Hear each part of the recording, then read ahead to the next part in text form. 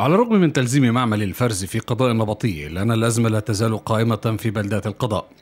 وبعد عرض جديد تحقيقات عن انتشار المكبات العشوائية وإخفاق الاتحاد في حل الأزمة خرج رئيس الاتحاد في مؤتمر صحفي معلنا عجز الاتحاد عن توفير مطمر للعوادم.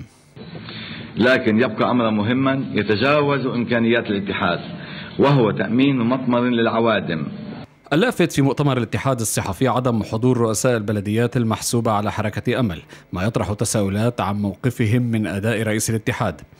أما الجديد في الموضوع فأن الشركة التي تلتزم التشغيل أبلغت الاتحاد أنها بصدد وقف العمل بسبب تراكم النفايات لعدم تأمين مطمر. والأنظار تتجه نحو مكب الكفور لرمي العوادم فيه بانتظار تحويله إلى مطمر صحي بمنحة من الاتحاد الأوروبي. الأرض يلي هي مكب. وهاللي عم تستعمل من عشرات السنين كمكب وتقريبا كل الجنوب عم بيزيد بهذا المكب هو العقار رقم 1117 بالكفور اللي حد المعمل. هاللي هو بده يبطل مكب بده يصير آه مطمر صحي. بعد كل مكابرة رئيس الاتحاد عادت الأزمة إلى نقطة الصفر في انتظار قرار وزيري المالية والبيئة لفتح مكب الكفور الذي يقع على عقار تابع لخزينة الدولة.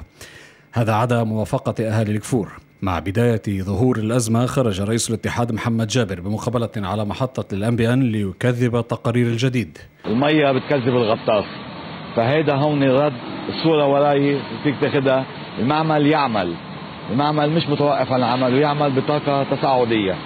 المعمل لا يعمل والأزمة عادت إلى منطقة النبطية وضواحيها وها هي النفايات المتراكمة في الشوارع تكذب ادعاءات رئيس الاتحاد.